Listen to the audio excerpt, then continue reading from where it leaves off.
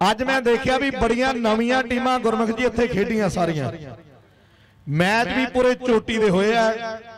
ਮੈਂ ਸਾਰੀਆਂ ਕਮੇਟੀਆਂ ਨੂੰ ਬੇਨਤੀ ਕਰਾਂਗਾ ਕਿਉਂਕਿ ਟੂਰਨਾਮੈਂਟ ਕਰਾਉਣੇ ਬਹੁਤ ਔਖੇ ਆ, ਪਰ ਨਵੇਂ ਮੁੰਡਿਆਂ ਨੂੰ ਜਿੱਥੇ ਮੌਕਾ ਮਿਲਦਾ ਹੈ, ਜਿੱਥੇ ਵੱਡੇ ਸਟਾਰਾਂ ਦੇ ਤੁਸੀਂ ਸਨਮਾਨ ਕਰਦੇ ਹੋ, ਆਪਾਂ ਨਵੇਂ ਮੁੰਡਿਆਂ ਦਾ ਵੀ ਸਨਮਾਨ ਕਰਿਆ ਕਰੀਏ, ਜਿਨ੍ਹਾਂ ਬਵਨ ਉਹ ਸਰਦਾ ਔਰ ਇੱਕ ਬੇਨਤੀ ਹੈ ਵੀ ਕਈ ਕਮੇਟੀਆਂ ਟੀਮਾਂ ਦੇ ਮਗਰ ਜਾ ਕੇ ਉਹਨਾਂ ਦੀਆਂ ਮਿੰਟਾਂ ਕੱਢਦੀਆਂ ਵੀ ਸਾਡੇ ਤੋਂ 40000 ਲੈ ਲਓ, ਸਾਡੇ ਤੋਂ 50 ਲੈ ਲਓ ਤੇ ਸਾਡੇ ਟੂਰਨਾਮੈਂਟ ਤੇ ਖੇਡਣ ਆ ਜਾਓ। ਵੱਡੀਆਂ ਟੀਮਾਂ ਕਈ ਵਾਰੀ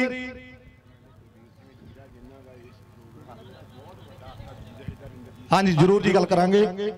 ਤੇ ਉਹ ਕਈ ਵਾਰੀ ਪਹਿਲਾ ਮੈਚ ਹਾਰ ਜਾਂਦੀਆਂ, ਸਾਡੇ ਇੱਥੇ ਪਿੱਛੇ ਕਮੇਟੀ ਦਾ ਸੀਗੀ ਤੇ ਪਹਿਲਾ ਮੈਚ ਹਾਰ ਗਈ, ਉਹ ਟੀਮ ਤੇ ਗੁਰਮੁਖ ਨੂੰ ਦਿੱਤਾ 21000 ਰੁਪਇਆ ਕਿਰਾਇਆ। ਗੁਰਚਰਨ ਸਨੇਰ ਜੀ ਆ ਜਾਣਗੇ।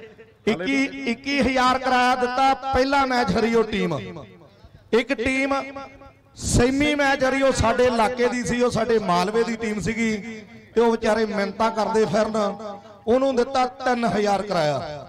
ਸੈਮੀ ਹਰੀ ਨੂੰ 3000 ਪਹਿਲੀ ਹਰੀ ਨੂੰ 21000 ਕਿਰਾਇਆ। ਇਹ ਤੁਸੀਂ ਸੋਚੋ, ਜਿਹੜੀ ਕਬੱਡੀ ਆ ਨਾ ਉਹ ਜ਼ਿਆਦਾਤਰ ਮਾਲਵੇ ਦੇ ਵਿੱਚੋਂ ਤਿਆਰ ਹੁੰਦੇ ਖਿਡਾਰੀ। ਆਪਾਂ ਵਜਣੀ ਕਬੱਡੀ ਦੇ ਮੈਚ ਵੀ ਵੱਧ ਕਰਾਉਣੇ ਆ ਤੇ ਓਪਨ ਪਿੰਡ ਪੱਧਰ ਦੇ ਵੀ ਆਪਾਂ ਜ਼ਿਆਦਾ ਮੈਚ ਕਰਾਉਣੇ ਆ। ਜਿੱਥੇ ਆਪਾਂ ਕਬੱਡੀ ਦੇ ਪਲੇਅਰ ਤਿਆਰ ਕਰਦੇ, ਉੱਥੇ ਆਪਾਂ ਉਹਨਾਂ ਦਾ, ਉਹਨਾਂ ਦੀ ਜ਼ਿੰਦਗੀ ਨਾਲ ਘਾਣ ਵੀ ਕਰਦੇ ਆ।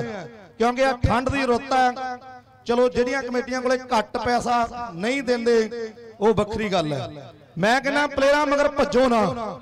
ਜਿਹੜੇ ਪਲੇਅਰ ਤੁਹਾਡੇ ਪਿੰਡ ਖੇਡਣ ਆਉਂਦੇ ਆ ਉਹਨਾਂ ਦੀ ਖੇਡ ਵੇਖੋ ਤੇ ਉਹਨਾਂ ਦਾ ਉਹ ਸਨਮਾਨ ਕਰੋ। ਆਪਣੇ ਆਪਣੇ ਮਾਲਵੇ ਦੇ ਪਲੇਅਰ ਕਿਉਂ ਨਹੀਂ ਤਕੜੇ ਹੁੰਦੇ?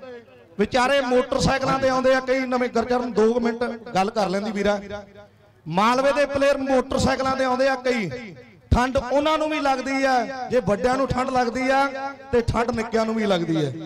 ਮੇਰੀ ਕਮੇਟੀਆਂ ਨੂੰ ਹੱਥ ਬੰਨ ਕੇ ਬੇਨਤੀ ਆ ਪ੍ਰਾਈਜ਼ ਘੱਟ ਰੱਖ ਲਓ ਮੋਟਰਸਾਈਕਲ ਨਾ ਰੱਖੋ। ਪਰ ਜਿਹੜੇ ਨਵੇਂ ਮੁੰਡੇ ਆ ਜੇ ਤੁਸੀਂ ਕਹਿੰਦੇ ਅਸੀਂ ਕਬੱਡੀ ਦੀ ਸੇਵਾ ਕਰਦੇ ਆ ਜੇ ਸੇਵਾ ਕਰਨੀ ਆ ਤੇ ਆ ਜਿਹੜੇ ਨਿੱਕੇ ਬੂਟਿਆਂ ਨੂੰ ਆਪਾਂ ਪਾਣੀ ਪਾਈਏ ਇਹ ਵੱਡੇ ਹੋਣਗੇ ਤੇ ਆਪਾਂ ਇਹਨਾਂ ਦੀ ਛਾਵੇਂ ਬੈਠਾਂਗੇ।